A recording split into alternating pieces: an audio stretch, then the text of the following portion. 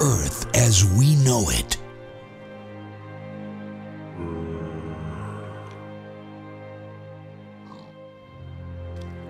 Does not exist.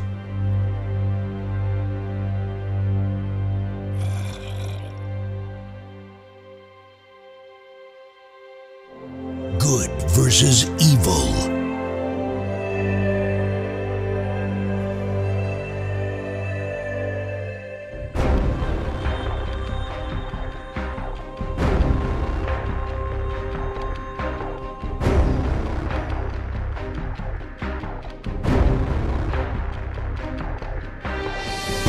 There's only one hope to save the world,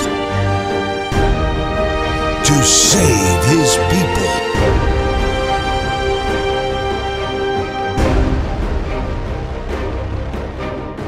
For good.